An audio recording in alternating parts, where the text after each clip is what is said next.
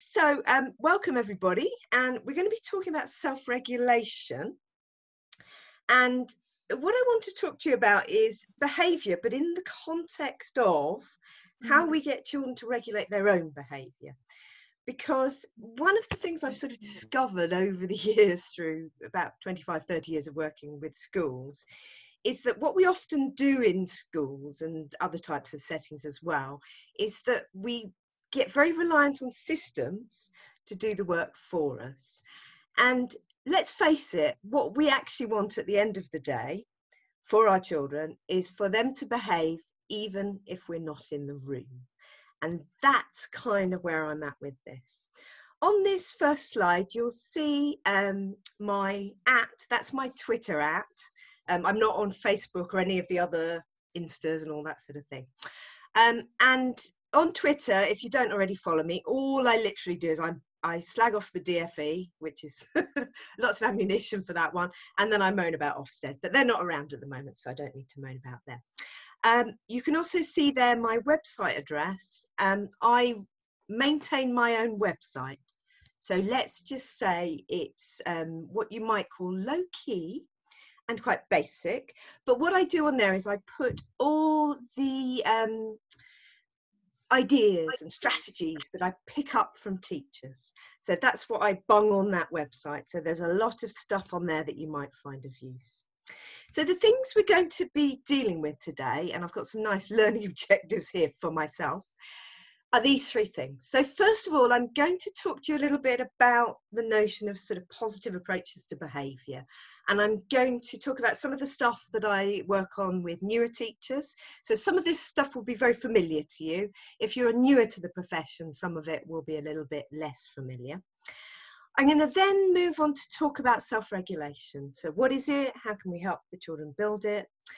And then I'm going to talk about something that's quite important when we're thinking about this subject, which is where we position ourselves in relation to intrinsic versus extrinsic motivators.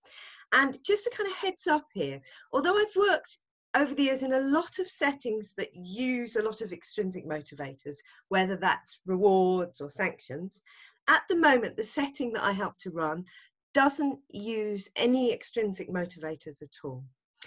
And one of the things we found, it's a preschool, so it's quite a different context to, to maybe a secondary school or something like that.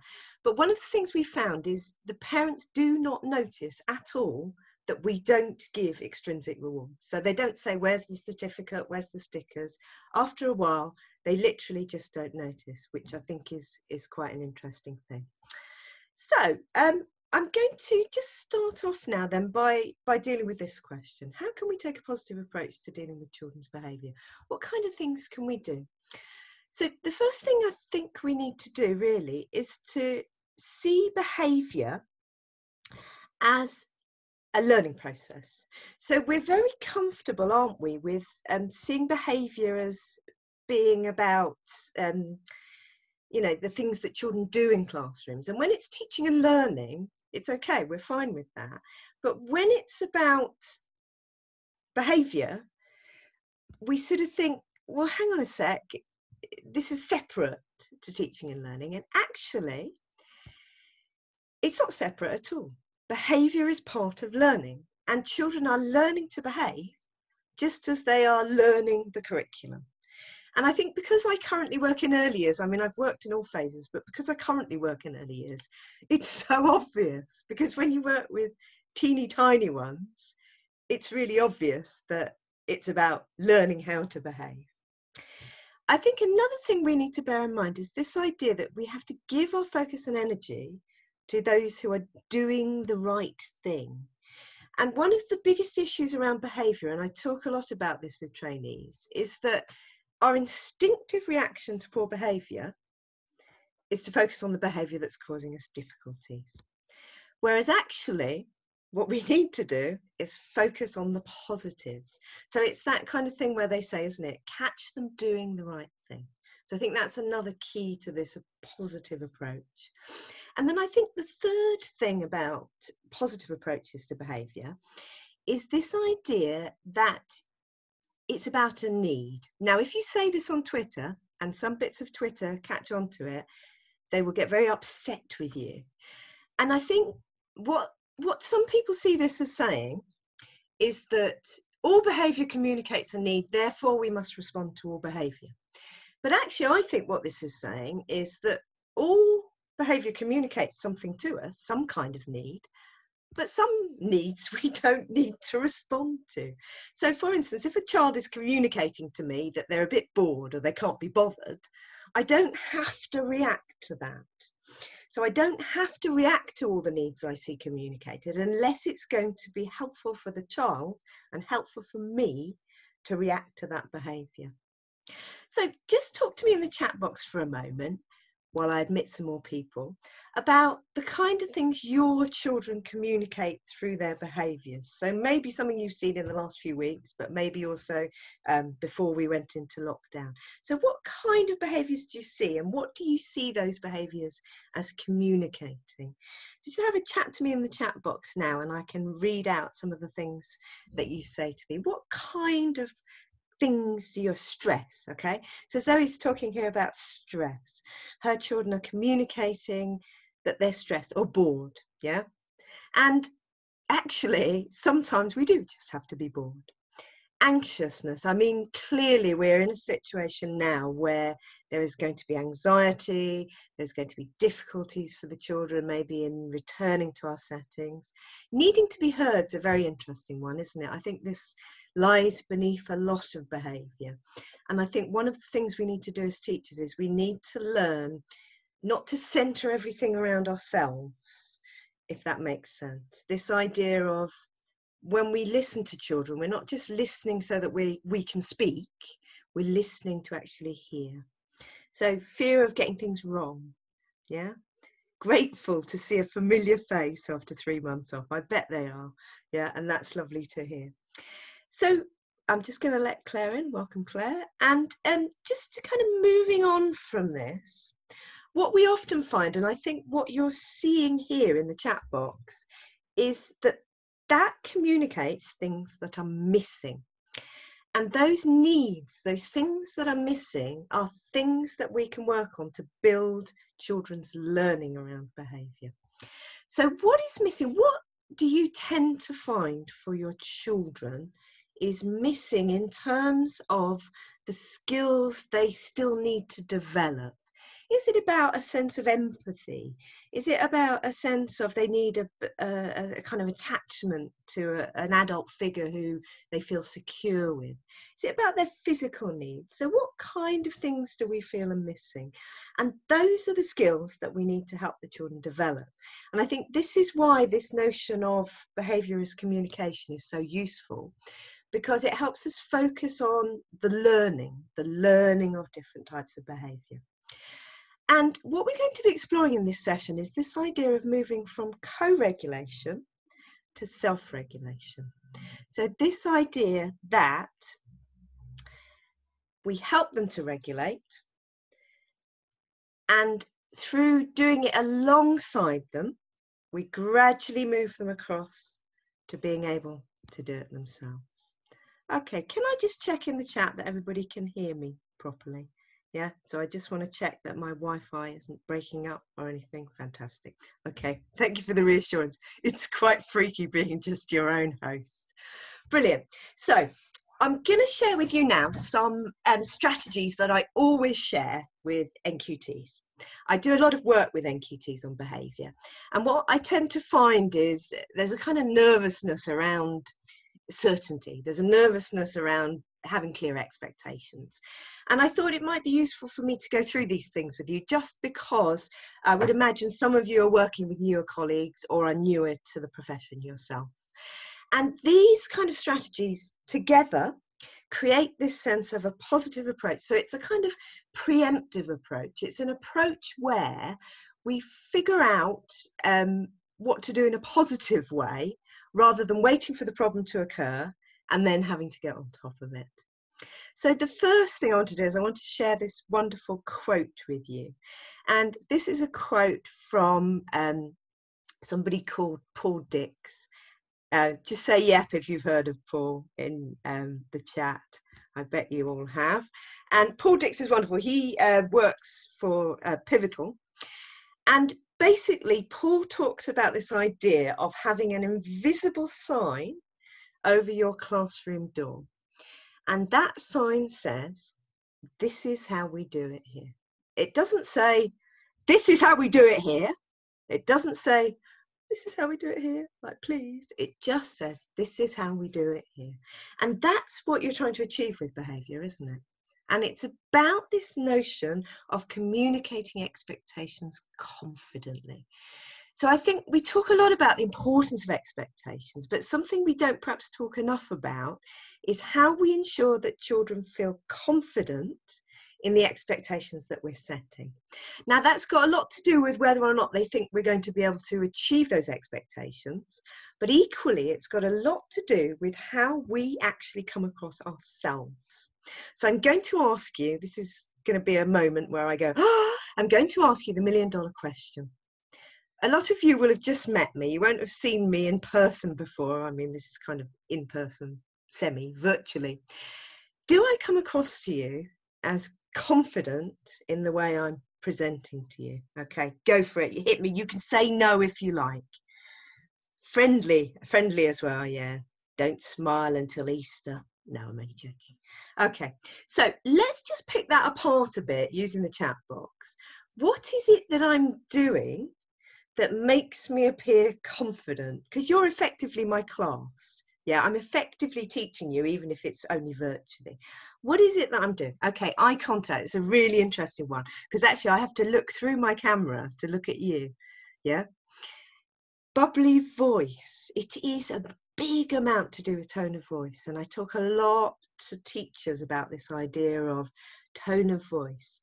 And did you know that your tone of voice actually triggers the part of the children's brain that deals with their emotional state. So if I sound warm, it makes you feel warm. If I sound curious, that makes you kind of feel a bit curious. And this is a wonderful way in which I hesitate to say manipulate, but this is a wonderful way in which we can help children read the signals we are sending them.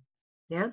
So it's about them feeling that they know we are able to control the situation, that we're confident, but also that we're warm, because teaching is essentially an interaction. Yeah. And this is why I always wince when I when I hear people talking about delivering a lesson, because you're not delivering it. You're not putting it through a post box.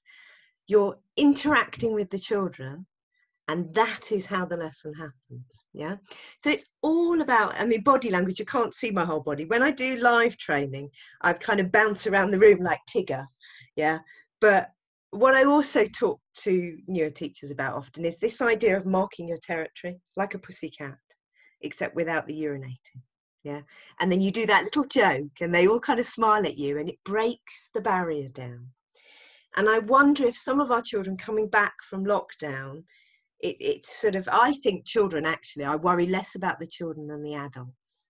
But i wonder if for some children there'll be that little bit of needing to just get through that barrier again so it's about that confident communication now this next one always makes me laugh. And when I do live training, I do this quite convoluted thing where somebody has to tell me to F off, which probably won't come across on camera. So I'm going to hold that one and I'm going to use a slightly different one. So, statements, not rhetorical questions. So there's a child and they're wandering around your classroom. And if you let your instinct take hold of you, what will tend to happen is you will tend to go, Why are you out of your seat? Now, it's a rhetorical question, isn't it? Because what you don't want the child to do is to turn to you and go, Well, miss, I'm out of my seat because I'm a kinesthetic learner. Which, you know, kids will find it. You know, you say to them, Why aren't you working? Well, because I don't think you've planned this lesson particularly well. And, you know, what do we want them to say? Do we actually want to hear what they're thinking? So when we're not asking a question, we need to think quite carefully about our language. And instead of phrasing it rhetorically, we just make a statement. I need you to get straight back to your seat, thanks. Yeah. I need you to get on with your work now, and maybe I can talk to mum later on about how well you did. Now, the next thing I'd just like to briefly talk to you about is what I call flexible consistency. It's the ultimate oxymoron. Yeah, it doesn't sound like it can't possibly make any sense. But essentially, flexible consistency is the notion of a consistent set of standards, but a flexible approach to achieve them. So, what I mean by that is, I have the same standard for every child. So, this is the standard. This is the standard I want you to achieve, whether that's to do with work or behavior or whatever. But I'm not going to say that I'm going to take exactly the same route to get to that standard for every single child. Because just as with learning, I need to differentiate. And when we talk about um, differentiation in terms of behaviour, what we're not saying is, I'm going to let these children get away with this, and these children I'm going to clamp down on. What we're essentially saying is that we're going to use whatever support, scaffolds, tools we need to get the children to the standard of behaviour that we expect. So it's like a really useful example for this is um, uniform because everybody understands this notion, don't they? And we all probably wore uniform when we were at school. Now, I've got one kid over here. Let's call this year 10, okay? Slightly disengaged some of my students. I've got one kid over here who hasn't got their tie on. But that kid I happen to know is, you know, from a very supportive background, doesn't get angsty with me, doesn't get confrontational. So I go to them, sort your tie out, thanks. And they immediately go, okay. Now I've got another kid over here who, if I go to him, sort your tie out, thanks, will stand up, look at me and go, I ain't sorting my effing tie out. And he'll be out the room. So I know that for that child, I need to go about it in a slightly different way. And that's where the flexibility comes in. I have a quiet word once everybody's settled to work. I kind of do a non-verbal signal rather than verbalizing it. And that's all that flexible consistency means. Same standard for everybody, different approaches to get to it. Now, this next one, narrating the why, I think this is going to be so crucial, and I'm sure you, you've been thinking this when it comes to the sort of wider reopening because we are going to have a set of behavior expectations that are going to be really crucial to get in place. But I don't think what we can do is go down this kind of comply or straight into isolation approach because I think that we have to accept that the children are coming back to us from all different sorts of positions and places. And also, you know, some of these children will have been bereaved, they will have seen domestic violence while they were away. You know, we need to be very sensitive to a range of issues. So, narrating the why is all about when I have an expectation, talking with and to the children about why I need that thing to happen. And I actually think that children are much more open to and willing to go along with expectations where they see the point. And when I work with trainees, I talk a lot about this idea that um, there are some expectations in school that seem to be a bit silly sometimes, you know, particularly to the children, but sometimes to some of the teachers. And I think this is where it's really worth constantly revisiting your rules, your expectations. So we will tweak our golden rules according to the cohorts that we have. Um, we're uh, we're open sessional, so we have very flexible attendance, and you know we will tweak what we're asking of the children according to their needs. The next thing I talk to uh, trainees about is this idea of preempting the problem. So here's a problem for you, and I'm going to get you to preempt it in the chat box. So this this is the problem, and I'll tell you my ideas um, once I've got all yours and nick them. The problem is that when they come in from break, my children are full of they want to tell me about what's happened they had this falling out they had that falling out there was this problem that problem and i find that the start of my lesson gets kind of eaten up by all this kind of angst so how can i get in front of that problem and actually deal with it before it occurs. And I'll just give you one suggestion and then we'll see if you can come up with some more. One of the things I do is I use a minute to moan. So I t- say to the children, right, I can see that there's been some stuff going on at playtime. So sit down with your talk partners and you've got one minute to moan. Three, two, one, off you go. So Jennifer's saying, hands out a starter as they enter the room. So it's that straight on task. Get them straight on task. Another method I use for this is a, a box, a worry box. There you go. Rhiannon's already said that. Meet and greet at the door. Worry wall. Meet in the playground. And all these things, communication books you're talking about, what you're doing there is you know that a problem is likely to occur and you get in front of that problem. And that's all that that is effectively doing. Now, another nice one is this idea of moving into a line. And we might have quite a bit of this in the kind of post lockdown world where we need to move children, but in a really specific way around the setting. And something I'll often do, particularly with the younger ones, but you can kind of get away with it as an ironic touch with the older ones, is I'll give them an imaginative context with which to move to the line. So I'll say to them, There's a giant and it's asleep under the floor. We don't want to wake it up. So can we tiptoe, tiptoe, tiptoe to the line so we don't wake him up? And the children, they're so focused on this idea of there being a giant that they don't even think about messing around. And you can do it with things like line up in height order, line up in month of birth. So it's this idea of getting in front of the problem. Now, modelling and reinforcing expectations. One of the biggest issues we have with expectations is where we set them and then we don't model them. And this particularly can be the case with the idea of silent listening because it's all great and fine on Monday morning when you're full of energy and you're going to get this in place and they're all going to listen to each other and they're all going to listen to the teacher. And it gets to Friday last thing and you're like, okay, I'm just going to talk over them because I just need to get on with it. And the problem is every time we fail to model what we've asked for, we reinforce that we didn't really mean it. So just in the chat box now, pop down the one thing you find it hardest to maintain. So you set your expectations. This is definitely what you want. You tell the kids, and then you really struggle to model this one thing. So if there was only one thing that you could say you struggle to model, which one thing would that be? And Elizabeth saying waiting for total silence doesn't surprise me because this is this is often the top I really struggle to model this one. One voice rule, silent working, speaking quietly, noise levels. Yeah. I often find, which I think is hilarious, that it can be the teacher who generates the kind of overexcitement and noise from the class. Yeah, silence in the library. Yeah, you're busy chat, having a chat to the librarian. You're meant to be being silent, miss.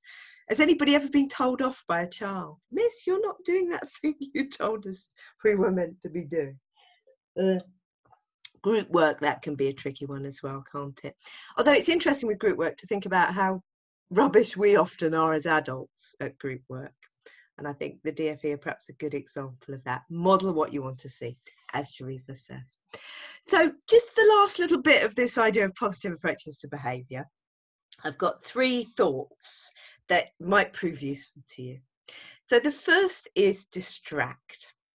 And you often, particularly with smaller children, but actually often with older children who are kind of in a moment of kind of almost crisis, they can't pull themselves out of the behaviour themselves. So this is kind of a form of co-regulation because essentially what you're trying to do is get them out of that tantrum state by just kind of going, it's that thing where you go, oh, look at the bird over there. So uh, one good way to do this for teachers is to ask for help. Yeah, I need you to help me with this, thanks. And it is often the case, maybe 80, 90% of the time the case, that children will just go, oh, okay, you know, hand this out, thanks. Because what they were actually looking for is a kind of physical um, out from the sat at desks working. And I think often their behaviours are just signalling to us that we've kept them still and static too long. And then this second one for distract, this is this was so hilarious. I went to a school in Kent and they told me about this. And it's basically a code. And what it's code for is I need a short break from this child who is making my classroom a little bit difficult at the moment and I need like a, a break. So what they say to the child is, can you go to Miss Jones's class and ask her if she's got the pink folder? And that, have you got the pink folder, please, Miss Jones, is basically code for I need this child out of my class for a few minutes. So Miss Jones says, um, no, but I think Mr. Frank might have it. And the child goes to Miss Frank, we've got the pink folder. And the child goes to sort of four or five teachers and then comes back to the original teacher. Nobody's got the pink folder, miss. And it's given that child a little moment to get away from the situation they found themselves in. This second one, we get them to take a note around the classes, Penny says. Yeah, oh, Sharifa, you use that pink folder one as well.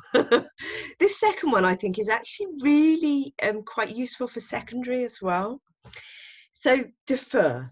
What we tend to think with behaviour is that we need to deal with it instantly. If it's not seen to be dealt with instantly, then it sends the wrong message and so on. But over the course of probably 30 years in teaching, I've only maybe had two, I think, two situations where if I hadn't dealt with them instantly, there would have been risk of serious harm to somebody.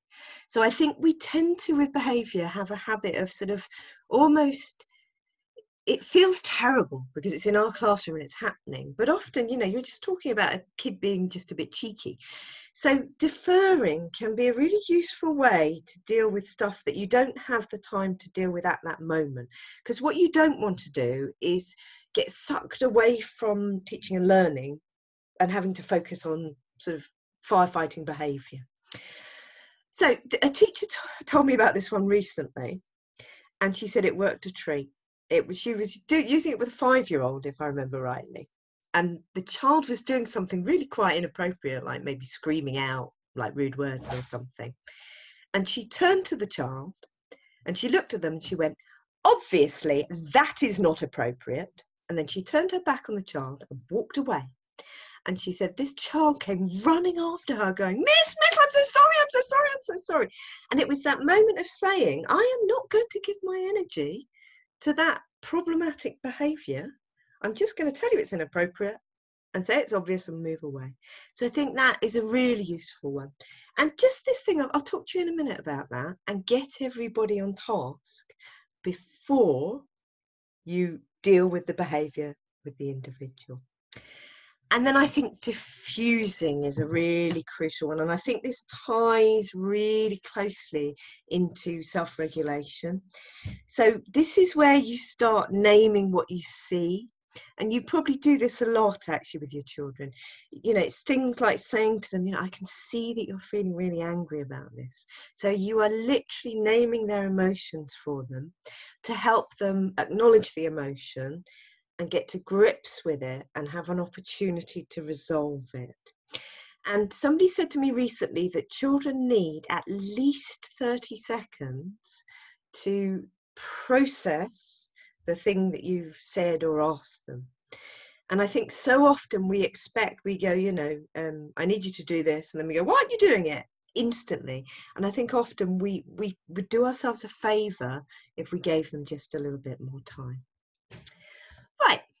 What is self regulation and how can we help our learners to build it? Well, self regulation has now popped up in the early learning goals. And there's a good reason for self regulation being in there, which is that it's very indicative of positive outcomes in the longer term. So there's quite a high correlation between the ability to regulate not only your own behaviors, but your own learning, where you pay attention, and so on. All those things tie quite closely into um, the outcomes that children have from their learning.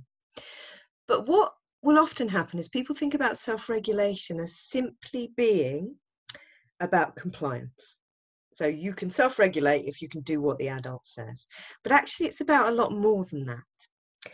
So it is about the ability to be aware of your own behaviors, to understand what they are and what's happening around you, and manage that.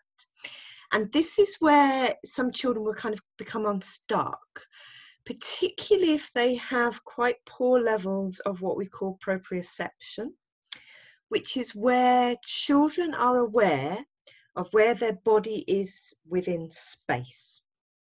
So just try this for a moment to see what your own proprioception is like. If you can all, just close your eyes and see if with your eyes shut, you can touch your index finger to your nose. So can you do that without actually having to see your finger coming towards you? And hopefully you will pretty much all go, yeah, yeah, that's, I, I should do it now, really, shouldn't I? That's fairly straightforward for me to do. Children who struggle with proprioception don't have that sense of where their body is in space. So they these are often the children who are oh they're so clumsy, they're so bumping into things, and they sometimes call it the sixth sense.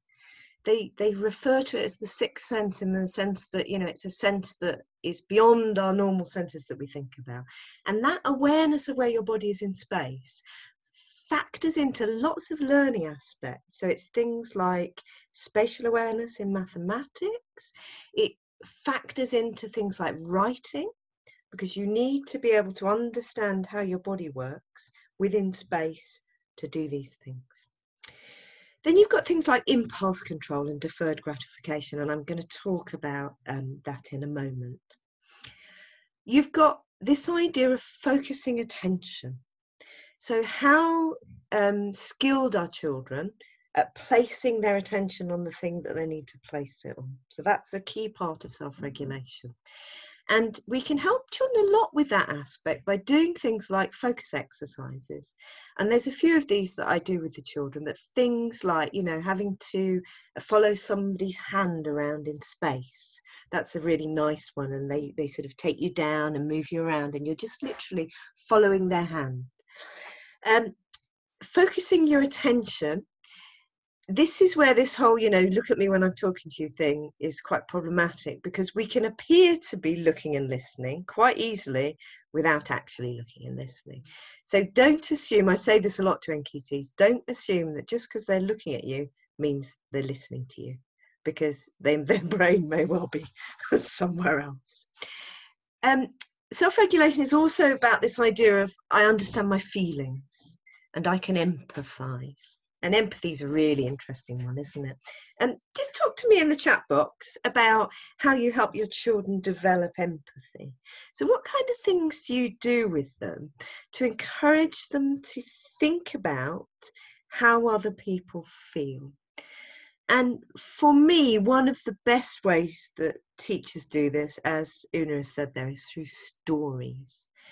And not just fictional stories. I think actually biographical stories are very useful for this. You know, talking about Anne Frank's story um, was a very important moment for me with my own children um, as they grew up. Restorative meetings, sharing their news, sharing other people's, and also, you know, talking to them about you know how do you think it might feel if so putting themselves in the place of somebody else and i think drama can help a lot with that but then i would say that because it's my subject. Discuss illustrations. What do you see? What does the person appear to be thinking and feeling? Puppets that's a lovely one isn't it? Yeah big questions in re relating to their own experiences. And I think one of the actually really positives for me about lockdown with my own children has been the space to have some of these conversations. Yeah. How do you think what you know, we've had some real meaning of life conversations and we filed it under PSED or PSHE if you're in um, other phases to me. Empathy can be a challenge for us, yeah, in alternative provision because it is one of these bits of self regulation that can be problematic for children with SEND. Yeah, definitely with that. Okay, it's also about, in an educational context, um, about sort of classroom behaviours and learning behaviours and those kind of things. So, what we would hope is to have the wonderful situation that I've had at times during lockdown, which I've said to my kids, they're teenagers, it's a lot easier when they're teenagers. But I said to them, you have to work between 10 and 3. I don't mind what order you do things in, I don't mind if you spend all day on one subject, but that's the amount of time that you have to regulate your learning. And then I've handed it over to them. And that's the really scary bit as a parent yeah, and as a teacher. But that's what we have to do if we want people to self regulate. So, marshmallow experiment. I'm sure you've all heard about this, so I'm just going to explain it to you very briefly. But this experiment is very interesting in the context of deferred gratification which is part of self regulation, it's not the whole thing. So, this is how it worked. Um, about uh, six, 50, 60 years ago now, in Stanford, in America, at Stanford University, some researchers wanted to research this idea of deferred gratification. And they said to the, they brought some small children into their research centre and they took them into a room one at a time. And the researcher put down a marshmallow in front of the child and said, You can eat that marshmallow immediately but I'm going to pop away.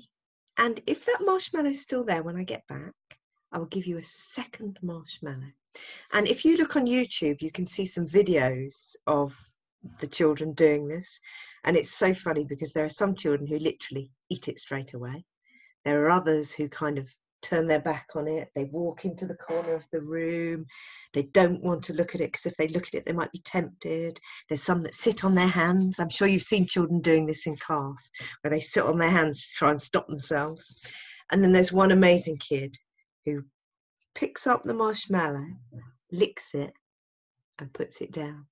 And 20 minutes later, the marshmallow is still there. I reckon that kid would go far. Anyway, what they found is that those children who could wait the 20 minutes settled much easier into school. And if we think about it, it's logical, isn't it?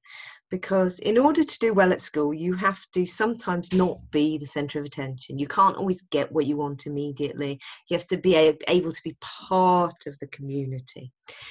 And they settled well into school, but not only that, when they revisited those children as adults, they had done better academically.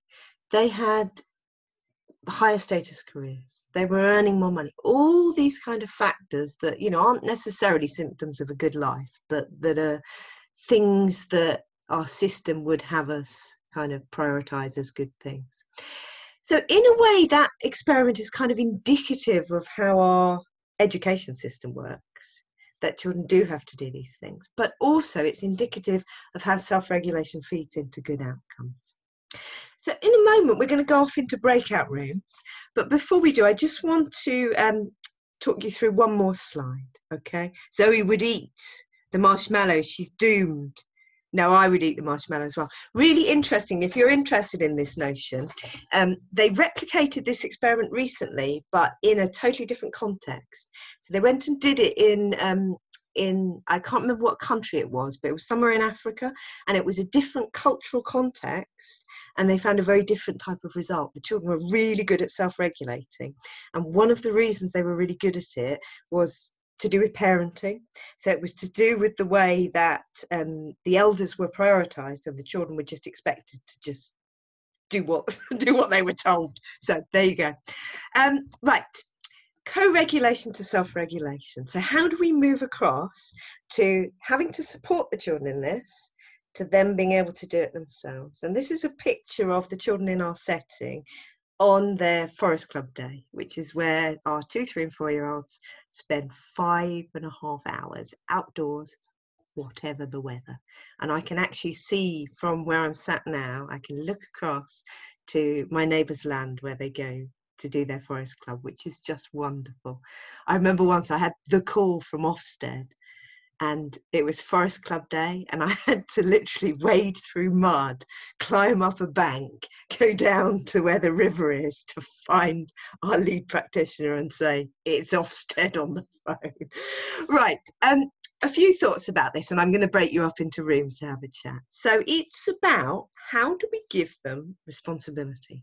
How do we give them independence within a system of accountability that requires us to get them through it? And get them to this stage at that point and so on.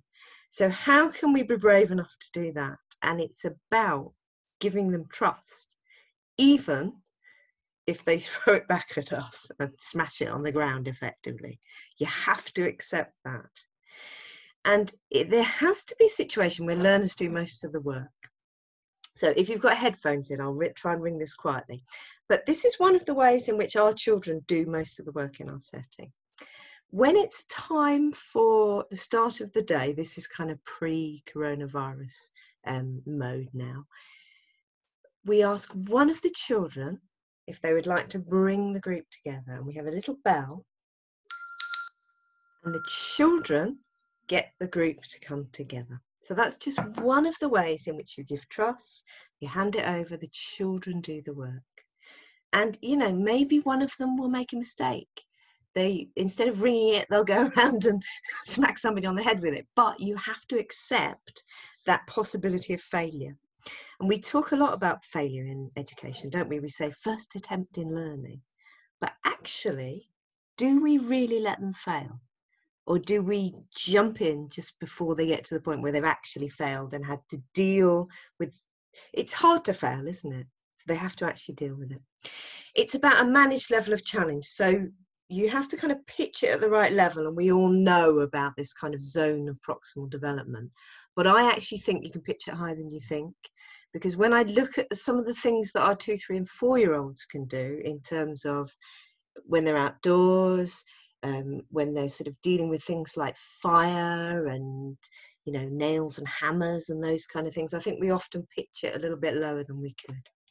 Right at this point i am going to try to put you into breakout rooms